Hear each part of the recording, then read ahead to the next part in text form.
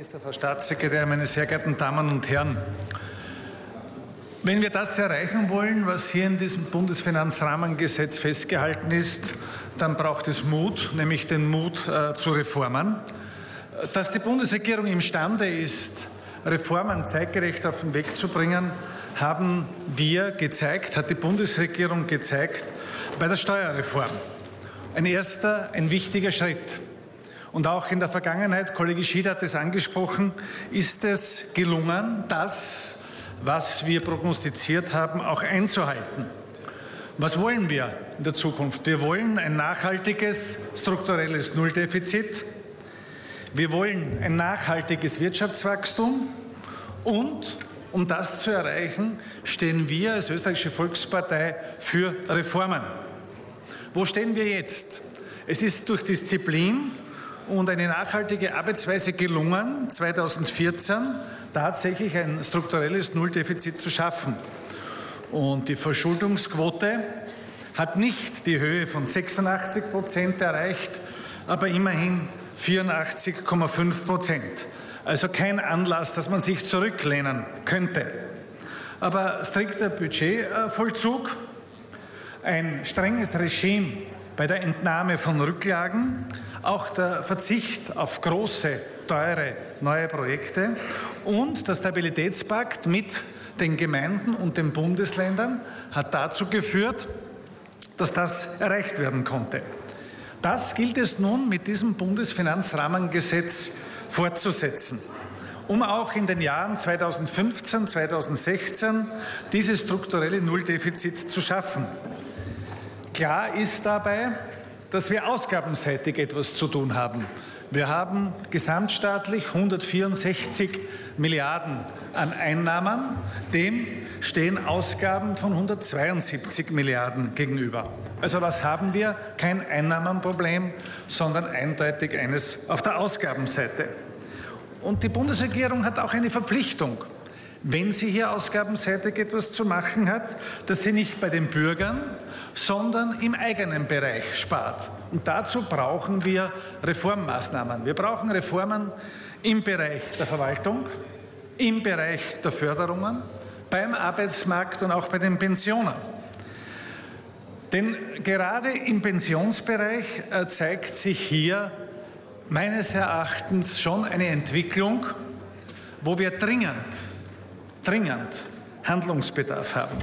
Und es konnte festgelegt werden, bis 29. Februar 2016 hier einmal diese Evaluierung zu haben. Ohnehin ein langer äh, Zeitraum, äh, sage ich, um hier, wenn es notwendig ist, zu einer Anhebung des Pensionsantrittsalters zu kommen. Es geht hier nicht darum, sage ich den Pensionisten, die hier sind, den Senioren, nicht darum, in bestehende Pensionen einzugreifen. Das sicher nicht. Worum es geht, ist die Sicherung von Pensionen für die Jüngeren. Und auch das ist unsere Pflicht, meine Damen und Herren. Denn wir haben hier nach wie vor Sonderregelungen, wo wir leider zu wenig darauf reagieren, wenn uns der Rechnungshof Fakten vorlegt. Zum Beispiel der vorliegende Rechnungshofbericht zu den ÖBB-Pensionen.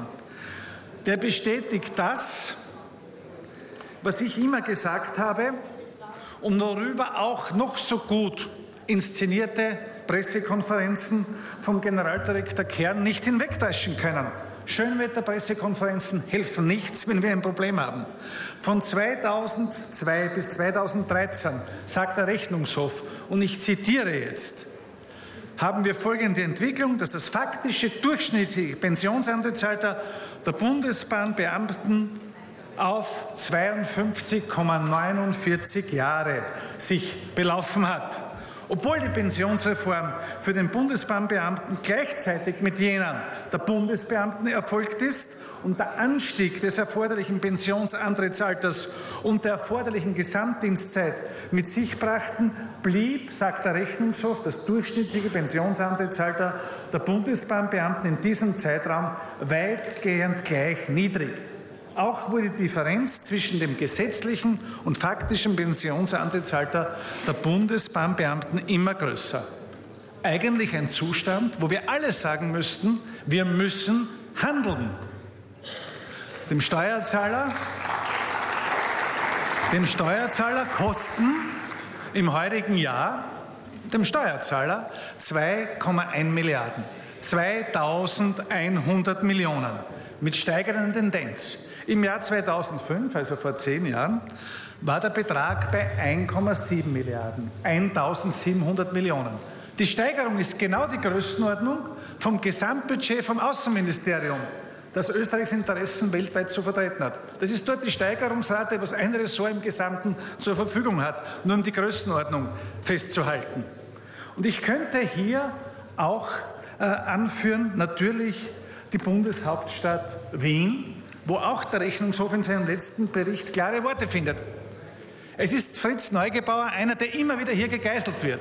Er hat aber auf Bundesebene diese Reform mitgemacht, die die Bundeshauptstadt Wien bis heute nicht nachvollzogen hat, obwohl der Bürgermeister von Wien, Kollege Schied, obwohl der Bürgermeister von Wien mit seiner Unterschrift den Finanzausgleich mit unterzeichnet hat. Nur er macht das nicht, was er unterschrieben hat. Er gibt sogar recht äh, flotte Sager Richtung Finanzminister, wenn ihn daran erinnert. Und der Rechnungshof sagt, 350 Millionen Euro, 350 Millionen Euro gehen hier verloren. In Wien im Schnitt geht man mit 57 in Pension, die Bundesbeamten, Rechnungshofbericht, mit 60. Nur drei Jahre kosten etwas. Daher sage ich Ihnen, wir haben hier bei diesen Sonderregelungen in erster Linie anzusetzen, aber dann auch insgesamt uns das System anzusehen um hier auf Ausgabenseitig etwas zu machen, damit wir dann auch Geld zur Verfügung haben, wenn es darum geht, unser Wirtschaftswachstum anzukurbeln.